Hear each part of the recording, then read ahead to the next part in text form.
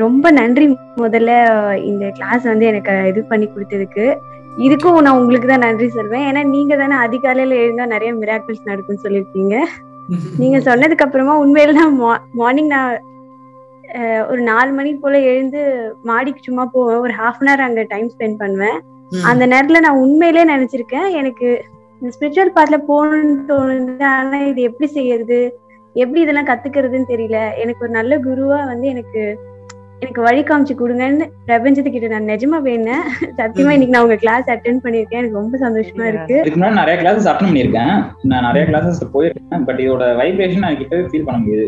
So it's better feeling இப்போ நான் எனக்கு இப்பவே தெரியுது. குருவே சரணம். அனைவருக்கும் வணக்கம். ஒரு விஷயத்தை கேட்கணும் மறுபடியும் கேட்கணும் மறுபடியும் மறுபடியும் கேட்கணும் மறுபடியும் மறுபடியும் மறுபடியும் கேட்கணும். கேட்டுக்கிட்டே இருக்கணும். அப்போ தான் அதில் இருக்கக்கூடிய ஆழமான அர்த்தம் என்னன்றது உங்களுக்கு புரியும். இப்போது இந்த திருவாசகம் திருக்குறள் திருக்குரான் இந்த மாதிரியான புனித நூல்களுக்கெல்லாம் வந்து பார்த்தீங்க அப்படின்னா இதுதான் விளக்கம்னு எந்த கொம்பாதி கொம்பனாலையும் சொல்லவே முடியாது. ஏன் அப்படின்னா அவங்க அவங்க அறிவுக்கு தகுந்தாற் போல தான் அது விளக்கம் கொடுக்கும் தெளிவை கொடுக்குமே தவிர நாளான்னைக்கு நீங்கள் வேற ஒரு அறிவோட வந்து பார்க்குறீங்க வேற ஒரு தெளிவோட வந்து பார்க்குறீங்கன்னா அப்போ வேற ஒரு அர்த்தம் கொடுக்கும் அது. இன்னும் கொஞ்ச நாள் விட்டு ஒரு ஐம்பது அறுபது வயசில் வந்து பார்க்குறீங்க அப்படின்னா சம்மந்தமே இல்லாமல் ஒரு அர்த்தம் ஒன்று கொடுக்கும். உங்களுடைய புரிதலுக்கு தகுந்த மாதிரி அர்த்தம் கொடுக்கும். இன்னும் நீங்கள் நூறு வயசில் பார்க்குறீங்கன்னா வேற லெவலில் ஒரு அர்த்தத்தை கொடுக்கும். ஆனால் அது இன்னும் அர்த்தத்தை கொடுக்க தயார் நிலையில் தான் இருக்குது புனித நூல்கள். புனித தத்துவங்கள் புனித விளக்கங்கள் புனிதமான வீடியோஸு புனிதமான விஷயங்கள் இந்த உலகத்தில் பார்க்கக்கூடியது எல்லாமே அவ்வளவு அர்த்தங்களை உள்ளடக்கியது. அதுதான் இறைநிலை அதுதான் இறைவன்றது. அதெல்லாம் இறை சார்ந்த விஷயத்துக்கு இதுதான் ஸ்டார்டிங் இதுதான் எண்டுன்னு சொல்லவே முடியாது. அப்படி ஒருத்தன் சொல்கிறான் இதுதான் ஸ்டார்டிங் இதுதான் எண்டுன்னு சொல்கிறான் அப்படின்னா அவனுக்கு இன்னும் அறிவு பார்த்தலன்னு அர்த்தம். இறை சார்ந்த விஷயங்களுக்கு இது ஸ்டார்டிங் இது எண்டுன்னு யாராலையும் சொல்லவே முடியாது. அதனால தான் கேட்ட விஷயத்தவே திரும்ப திரும்ப கேளுங்க. அதில் தப்பே கிடையாது. இப்போ என் வீடியோ பார்க்குறீங்க அப்படின்னா இன்னைக்கு பார்க்குறீங்கன்னா ஒன்று ஒரு மாதிரி புரியும். நாளைக்கு பார்க்குறீங்கன்னா ஒரு மாதிரி புரியும். நாளானைக்கு பார்க்குறீங்கன்னா சம்மந்தமே இல்லாமல் வேறு ஒன்று புரியும். கேட்ட விஷயத்தவே கண்டிப்பாக நீங்கள் திரும்ப திரும்ப திரும்ப திரும்ப திரும்ப திரும்ப கேட்கணும். அப்போ தான் அதில் இருக்கக்கூடிய ஆழமான கருத்துக்கள் என்ன தெளிவு என்ன புரிதல் என்னன்றது புரியும். அது வரைக்கும் புரியவே புரியாதுங்க.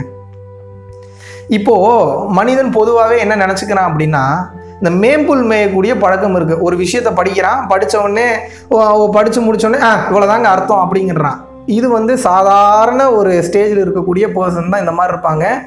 ஆனால் மிக சிறந்த ஞானிகள் மிக சிறந்த மனிதநேயவாதிகள் மிக சிறந்த தெளிவான பர்சன்ஸ்லாம் என்ன பண்ணுவாங்கன்னா இதில் என்ன இருக்குது என்ன போட்டிருக்காங்க? என்ன போட்டிருக்காங்கன்னு சொல்லி இன்னும் ஆழமாக போக போக போக போக போக போக உங்களுடைய மைண்டு என்ன ஆகுனா மூளையை கடந்து லைட்டோட கனெக்ட் ஆகிடுவீங்க அந்த ஒளியோட கனெக்ட் ஆகிடுவீங்க அந்த ஒளியோட கனெக்ட் ஆகும்போது தான் காஸ்மிக் காஸ்மிக்கோட பவர் ஆக்டிவேட் ஆகி பிரபஞ்ச ஆற்றல் மூலமாக அந்த விஷயத்தை எப்படி அணுகிறதுன்ற பக்குவம் உங்களுக்கு பிறக்கும். இது மாபெரும் ரகசியங்க இது.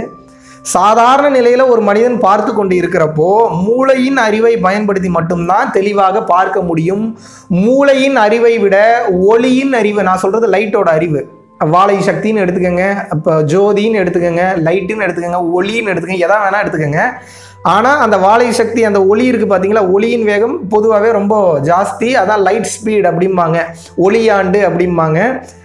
அந்த ஒளியின் வேகத்தை வைத்து ஒவ்வொரு விஷயத்தையும் அப்சர்வ் பண்ணக்கூடிய பக்குவம் வந்துச்சு அப்படின்னா இந்த பிரபஞ்சத்தை நீங்கள் பார்க்குற விதமே மாறிடும் எல்லாமே மாறிடும் உங்களோட அடிப்படையே மாறிடும் அதனால தான் கேட்பதையே திரும்ப திரும்ப கேட்க வேண்டும் பார்த்ததையே திரும்ப திரும்ப பார்க்க வேண்டும். இன்னும் டீப்பாக போக போக அதற்கும் அப்பால் என்ன? அதற்கும் அப்பால் என்ன? அதற்கும் அப்பால் என்ன? அதற்கும் அப்பால் என்னன்னு ஒருத்தனுக்கு பொறி பொறுமையும் அந்த காத்திருக்கக்கூடிய தன்மையும் அந்த சிந்தனையும் வந்துருச்சு அப்படின்னா அவனுடைய உயர்வு என்பது வானளவில் இருக்கும் வானை கடந்த அளவில் இருக்கும். அதனால தான் சொல்கிறேன் கேட்டதுவே திரும்ப திரும்ப கேட்க சலிப்பு தட்டாதீங்க. நீ உயர்ந்த நிலை ஞானி ஆகணும் ஏன்னா பல பேர் கேட்குறீங்க நானும் உங்களை மாதிரி எப்படி பேசுறது? நானும் உங்களை மாதிரி எப்படி தெளிவு பெறுறதுன்னா நான் ஒன்றுமே கிடையாது. ஒரு சாதாரண ஆள் நான் ஒரு ஒரு ஒரு பத்து காசு கூட பிரயோஜனம் இல்லாத ஒரு பையன் நான்.